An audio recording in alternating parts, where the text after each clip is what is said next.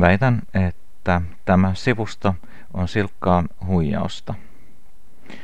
Tämä asuntovaunu on Ohiossa valmistettu. Se maksaa liki 100 000 taalaa.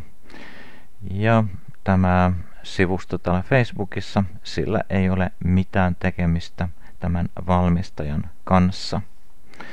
Kun näitä kilpailuja on näin paljon, niin meidän pitäisi oppia näkemään, mikä näissä mättää. Jos haluamme esimerkiksi tietoa tästä ää, yrityksestä, tässä tapauksessa Mitlilla Hem, mitä, voi, mitä tietoa voimme tästä saada? He eivät ole kertoneet itsestään yhtään mitään.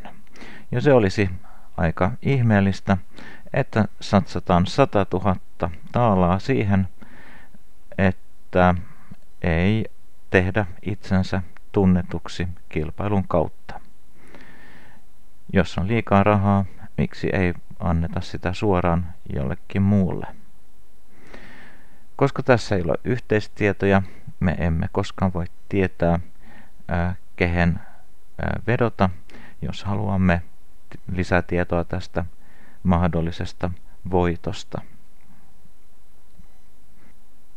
Täältä ei löydy mitään muuta paitsi ää, juuri tämä kilpailu, eli tämä sivusto ei johda mihinkään.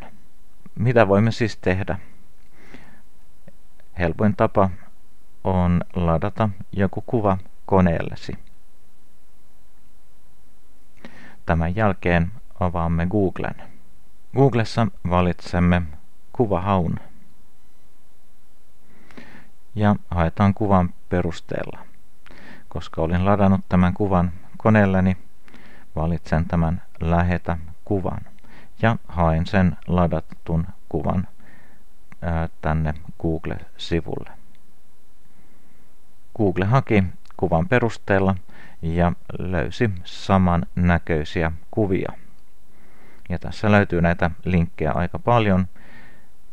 tinyliving.com on sivusto, missä tämä esiintyy eniten. Katsotaan mitä sieltä löytyy. Tämä sivusto on siis tämän vaunun valmistajan sivusto. Tässä ei ole mitään mainintaa mit lilla hemmistä eikä mistään kilpailusta. Ja tässä näkyy, että vaunun hinta lähtee tuosta 70 000 taalasta ylöspäin. Ja koska puhutaan taalasta, tämä ei ole Euroopan teille tarkoitettu, eikä todellakaan Ruotsin teille, mikä tuo mitlit, mihin tuolilla hemnyt voisi viitata.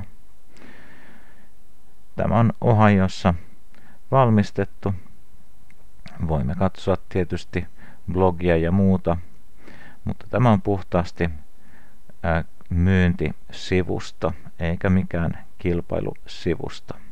Tästä opimme sen, että joku on nähnyt suurta vaivaa hakemalla tämän tyyppisiä kuvia ja luomalla sivuston sitä varten, että ää, niin moni kuin mahdollista klikkaisi ja jakaisi yhteistietojaan.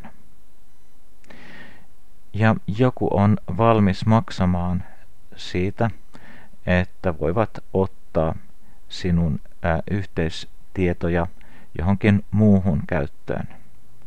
Näemme, että tässä on liki 50 000 käyttäjää ja kyllä joku tekee tuosta aikan sievän voiton. Ehkä yhteistietosi käytetään tässä yhteydessä, kun tällä sivustolla on aivan joku muu nimi. En halua arvata, mikä tämä nimi olisi.